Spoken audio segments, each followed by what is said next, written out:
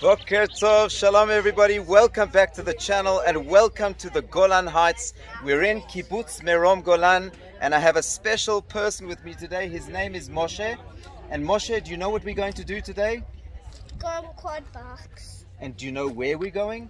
to the volcano. You heard him, volcanoes and borders. So stay tuned. We're going to give you a little bit of a taste as to what it's like to do an adventure trip here in the Golan Heights and to see places that very few people have seen. So welcome to a historical journey in the footsteps of who we are. Ready? Yes. Give me five. Let's go, guys. Follow the journey. Alrighty, Team Michelson. Let's do this. We're heading for the hills.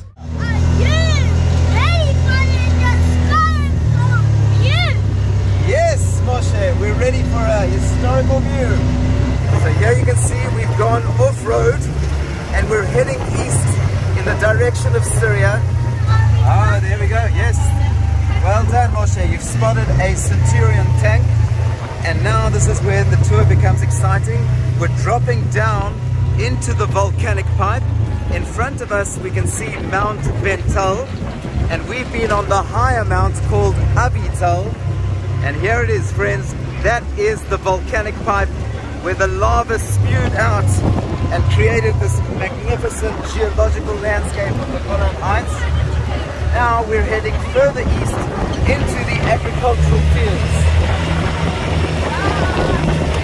Okay, we've now reached the agricultural fields of Kibbutz Merom Golan. And what do you see next to you, Moshe? Do you have any idea what's growing here? What did you say? So these are vines for growing grapes. Here we will see we're going to be driving right past them. Have a look at those divine fields. And it's a very successful kibbutz with agriculture. But now we're doing something that very few people can experience. We're coming close to the Syrian border and have a look at these army barracks. This is going to give us a feeling at what was here prior to the 1967 Six-Day War. And check this out, guys. We're going in.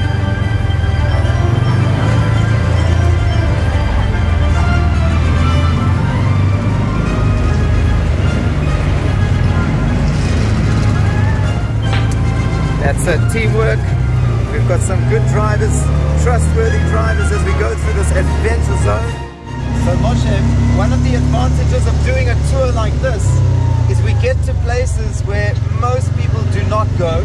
We're actually entering a demilitarized zone, which is called a DMZ, which means we're close to the border and we're just about to see something which is fascinating in understanding the history of the geopolitics of the land of Israel. So come with us, we're going to take you into a building which you can see in front of us now. You can start thinking about what you're seeing, but there is a heavily fortified building in front of us which predates the Six Day War.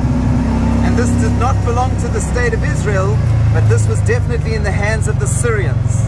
I will tell you briefly, this was firstly built as a military hospital, but later this was actually the headquarters of the Syrian military echelon here on the Syrian Golan Heights.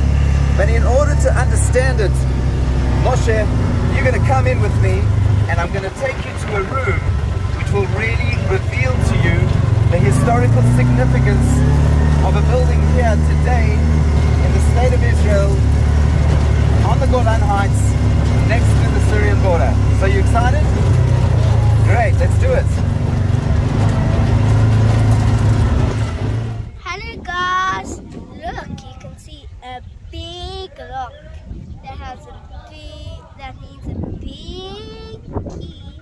Exactly, and the key will be here. We'll unlock the history of this significant place and we'll finish off by understanding that this lock actually tells us the story about a very important spy. Another nice thing about taking a tour is you get a nice ice lolly en route.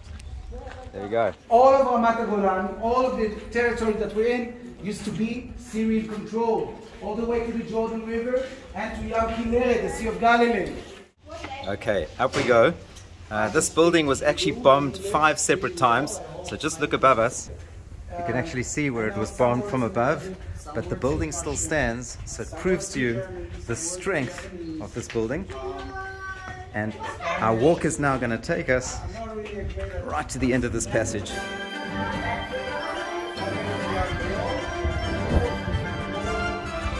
Okay, friends, we've made it to the roof. And this is the view that it affords you. And in brief, I'll just let you know that we are standing next to the Syrian border. Ahead of us, you can actually see a United Nations post, a UN post on the Syrian fence line. You can make out the fence line.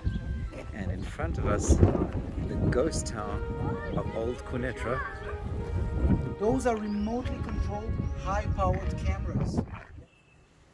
Okay, friends, here we are on the second floor in this very important room dedicated to Eli Cohen, the spy that gathered intelligence for the state of Israel between the years 1962 and 1965. Here he is with his wife Nadia, and this is a photo from the trial before his public hanging on the streets of Damascus. So, friends, a place to come and visit, a place to get connected.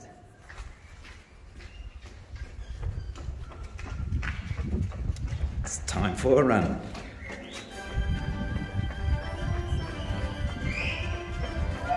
כן, אני בדרך. יאללה, הביתה. Okay, time is of the essence. There's so much we can do, and there's so much more we can still see. So stay with us, and we'll take you back to the kibbutz, and we'll unlock that key with a psalm. Psalm 83 speaks about the enemies of Israel, but no, the enemies have had no victory. We're back in the land.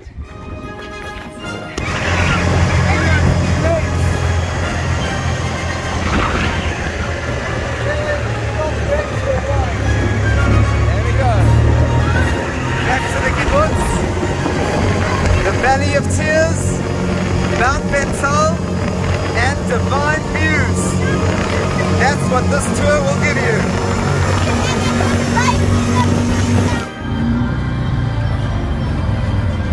There we have it. Great driving, guys. Okay, friends. Very special spot here next to Mount Avital and Mount Bental. Here you can see a sculpture of Nadia and her children.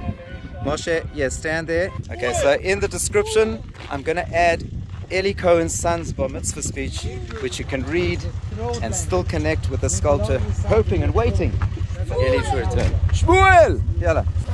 Chabal al. Right, Shahaf, thank you so much. So awesome. Yeah, Shahaf, thank you. Okay, we've arrived back to where we started. This is the Kibbutz Hotel, Merom Golan. Check out this horse. Hello guys, I hope you liked the video. Bye! Thanks, Moshe. Yeah, guys, we hope you enjoyed the taste of the Golan Heights. Here we are next to this incredible artwork, Joop de Jong. You can come and check out his stuff. Anyway, I hope that we managed to unlock that big lock that we saw and gave them a key to taste the Golan Heights. But we want to encourage all of you, take a trip, come and enjoy the Holy Land, learn about its rich history. And what else? Anything else you got to say, Moshe? Did you enjoy that? I hope you liked it and I hope you watch our next video. Bye! Peace out. Ah, hang on. Remember to subscribe, and we'll see you in the next one.